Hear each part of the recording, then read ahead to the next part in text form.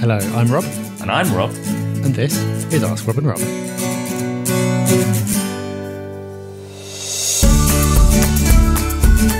Hello, everyone, and welcome to episode 35 of Ask Rob and Rob. We're back to answer some more of your questions. We keep this nice and simple. You ask us a question, we answer it, and we also make the process of leaving a question very simple too. Yep, make sure you get your question over to us. All you need to do is call 013 808 000 35. That is 013 808 000 35. Normal rate, leave us a voicemail, job done. If you're too modern for all that telephone nonsense, get onto your laptop instead and go over to the propertyhub.net slash podcast. You'll see a button on there where you can leave us a voicemail via the magic of the internet. Either way, get that question to us. That is what Chris Ryder, the leader of our St Albans meetup, did recently. Let's hear what Chris had to ask. Hi, Rob and Rob. It's Chris Ryder here from St Albans, a long time listener. In fact, I still remember when our American friend Rick introduced the podcast.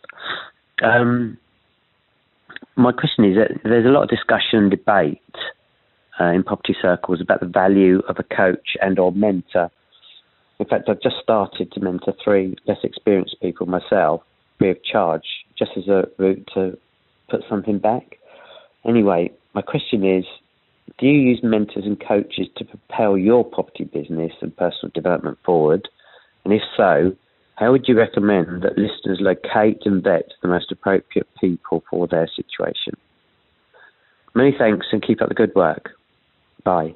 Thank you, Chris. Great to hear from you, and congratulations on taking the time to help people and by mentoring them. It's very good of you. I know you've been doing this for a, quite a while now, and I'm sure they're benefiting from your experience. Great question, too, about mentors.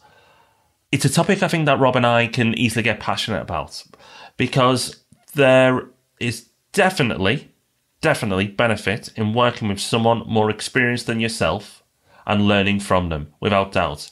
Unfortunately, in the property industry, there are people who take advantage of this and the advantage of people who want to learn. And sometimes it doesn't always work out for the best interests of the people who are receiving the mentorship. So, my first tip would be for anybody looking for a mentor, try the informal approach. Go to networking events like the Property Hub meetups, like Chris runs, and speak to people who attend and try to find people who are a little bit more advanced, a bit further down the line than where you are. So you may have a particular strategy you'd like to implement, and they may be just that bit further along, and you can learn from them. Now, you don't have to shake the hand and go, Hi, will you be my mentor? They'll probably get a bit scared. But if you've built a relationship up with them, you can possibly approach that. But I wouldn't even do that. People in property are very helpful normally. If they're not selling anything, people love to share their knowledge because property investment is not something that a lot of people do. And if you're good at something or you're passionate about something, you're often pretty keen to share that knowledge and share that enthusiasm. Hence the property podcast and everything else we do. We like helping people and we like talking about this a lot. So this has worked out really well for us.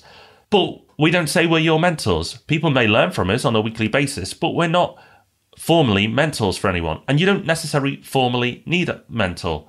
However, there may be a time and a point where you feel you want to step up your knowledge into more niche or specific areas. And then it's possible it could be a good thing to do. Yeah, I think so. I'm very skeptical of advice that is aimed at complete newcomers because there's so much of it that you can get completely for free. So instead of getting someone to tell you all the basics, just listen to the podcast or listen to an audiobook. You can do it on your commute and kill two birds with one stone. There does come a point though when there might be a specific area that would be really helpful for you to know more about. When that time comes, if there's an inexpensive course you can go on or paying someone for a day of their time, then it's probably worth it. It is really difficult to know when that point is. I'd say that for the most part, people start paying for advice and guidance too early. It is, of course, possible to pay for it too late and keep struggling on without the knowledge just because you don't want to pay. It's really hard to find out where that balance is. But when it comes to finding that person, I would say that for me, a key thing would be working with someone who is doing it for themselves for a good 80% of what they do. If someone is a full time property coach, I'd be questioning why, without that knowledge, they're not doing it themselves to some extent. And this is a word of warning. At these meetup groups, not the Property Hub meetup groups, I'd like to add, but at a lot of meetup groups, you will have people pitching you their mentorship services. avoid them. If a mentor is any good, you will seek them out and get find out about them by reputation, not be sold to. If someone has to sell to you about how good of a mentor they are, they're probably not a very good mentor. Because a good mentor will be that busy with people who want to work with them that they won't even bother selling. They won't even bother telling people they offer mentorship. It will be done by referrals. Now, in business, I have had plenty of informal mentorship, but I have paid for a coach as well. But I was way down the line when this started and I found them and I interviewed them and then I made my decision. They didn't find me, they didn't pitch me. I found out about that person through recommendation.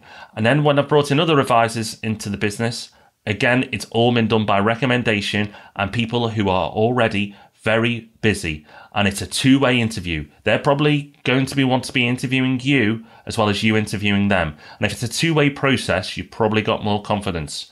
But beware of the people who are selling their mentorship services at meetup groups and online, because if they are selling mentorship, they're probably not that good. This is a really difficult question to answer because I think you've heard we're often quite emphatic about what the right thing to do is, but in this case, it is all about striking a balance. You don't want to go through your life in ignorance because you're too tight to pull your wallet out, but you also don't want to just rush into something.